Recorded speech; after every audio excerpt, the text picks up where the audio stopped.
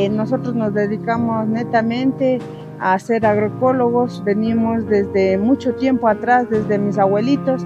Mis abuelitos hoy en día tienen 100 años, entonces querría decir que nosotros venimos desde 100 años haciendo agroecología orgánica.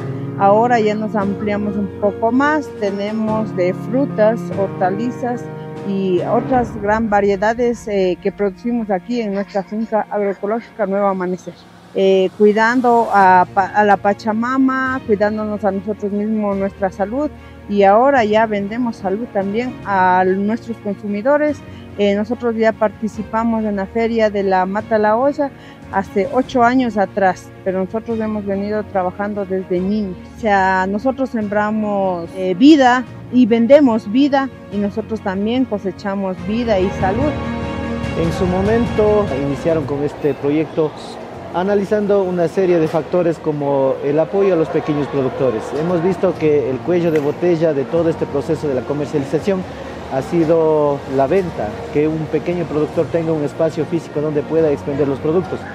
Entonces, en el año 2017 estuvimos eh, como técnico a cargo, estamos siete años en este proyecto. Iniciamos eh, conjuntamente con el trabajo del municipio de aquí del Canto Latacunga con 17 eh, compañeros y compañeras que fueron parte de este proceso. En el mercado mayorista del Cantón Latacunga hay una normativa interna que los pequeños productores los días de feria, viernes y los martes, ellos tienen que entrar a las 4 de la mañana de ahí tienen una hora para vender los productos. Y después, si es que ya no venden a las 5 de la mañana, tienen que salir rematando los productos. Entonces, ¿dónde está el derecho de los pequeños productores? Bajo ese enfoque nació este proyecto de la mata a la olla. Hoy tenemos 126 compañeros y compañeras ya que son legalmente constituidas, jurídicas. Y también más que todo por la cercanía, por el nuevo polo de desarrollo, ya tenemos dos o tres mercados en la parte norte, en la parte sur no tenemos nada. Entonces eso ha sido el análisis que hemos hecho desde, la parte técnica, desde la dirección y hemos visto justo este espacio físico donde los días lunes estaba, digamos, sin uso este espacio y hemos planteado el municipio y hemos tenido la aprobación respectiva. Porque es un proyecto, como ustedes ven, es un proyecto muy diferente. No es una feria tradicional como las otras ferias que pueden llegar y adquirir productos, no se sabe de dónde o cómo están produciendo. Entonces hemos dado este enfoque del tema de la agroecología, el tema de la producción limpia. Bueno, hasta el momento el objetivo general, el objetivo macro, digámoslo así, es implementar este proyecto en los siete cantones de la provincia de Cotopaxi. Ya estamos en tres cantones, entonces el proyecto piloto ha sido aquí en el cantón Latacunga. Hemos visto también eh, ya resultados y es la misma dinámica que estamos implementando en los otros cantones. La dinámica de todo el apoyo de las ONGs ha sido en todo sentido, desde capacitaciones, desde mandiles, desde el tema de la promoción y difusión, desde todos los materiales que ustedes ven instalados para el tema de la señalética, entonces ha sido en todo sentido.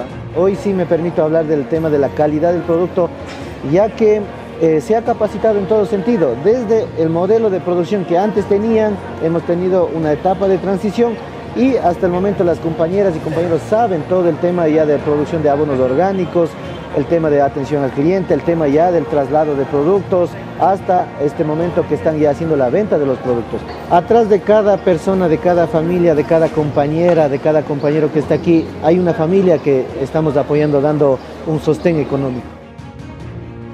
Eh, bueno, nosotros venimos realizando esta actividad ya como una historia desde mis abuelitos, mi mami y es una profesión la que se tiene, porque no, no todos lo hacen y pues, sea como sea puede acabarse la luz, pueden acabarse los carros, pero la comida no y la gente siempre va a tener que comer.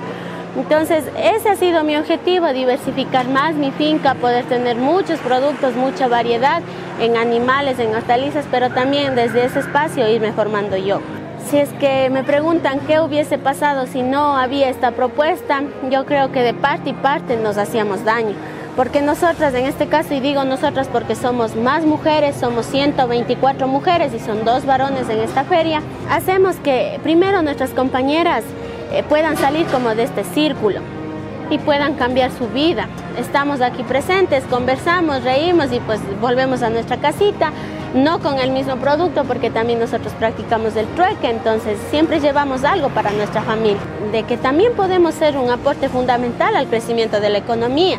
a la nutrición y ya no vernos también solamente como que estamos en la casa cuidando a los hijos, los animales, sino podemos salir a cambiar la historia. Nosotros eh, al hacer agricultura mediante la agroecología, estamos fomentando un proceso contra el sistema, eh, definitivamente porque eh, estamos y diciendo no químicos, no pesticidas, nada que dañe a la tierra, nada que enferme a la gente y tenga que ir a comprar medicina.